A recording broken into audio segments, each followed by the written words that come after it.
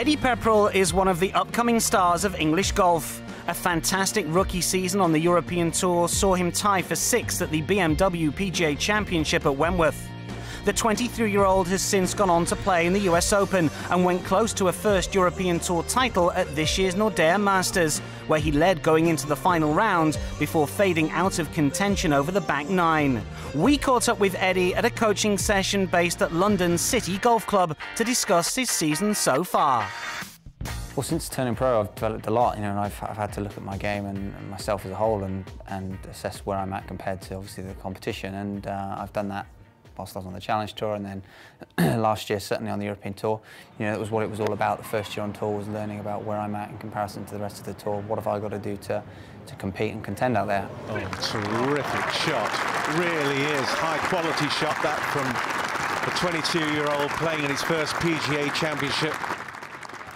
So far on the European Tour, well, Wentworth last year was a big one. Obviously, um, it was great being up there on the Sunday in contention with all the pressure and and all the crowds. That was a really uh, great experience.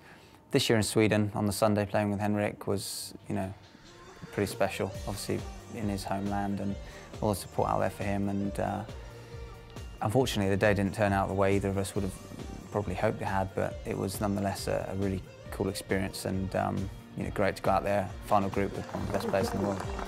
Pepperell finished tied sixth in Malmo, equaling his highest finish on the European Tour and comfortably his best effort in 2014. The difference? Some extra coaching after a last-minute change of travel plans.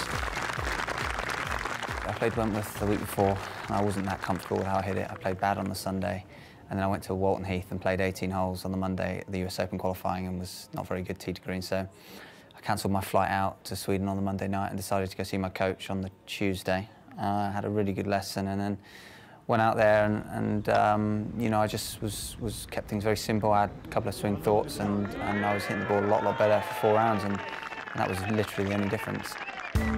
Based in the heart of the financial district, London City Golf is a haven for players of all abilities to learn and perfect their game. A favourite with the Molinari brothers, it's a place where technology is at the heart of golf. I haven't been to city golf before, so it's the first time I've seen a place like this.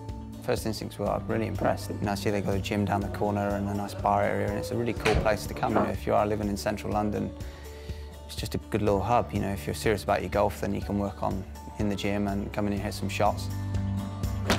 Not that Eddie has time to be relaxing in the bar. He's busy practicing with his coach Mike Walker, improving his game. Having worked with the likes of fellow English golfers Danny Willett and David Horsey, Eddie believes he's in good hands.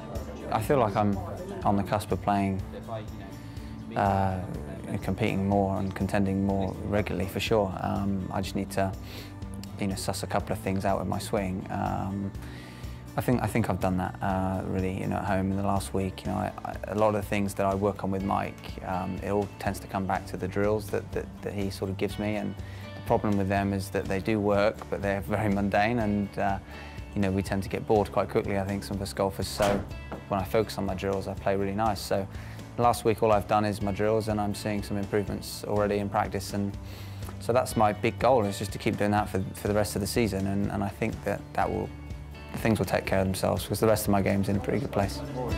And if a virtual golf simulator is anything to go by, we can expect bigger and better things to come from England's Eddie Pepperell.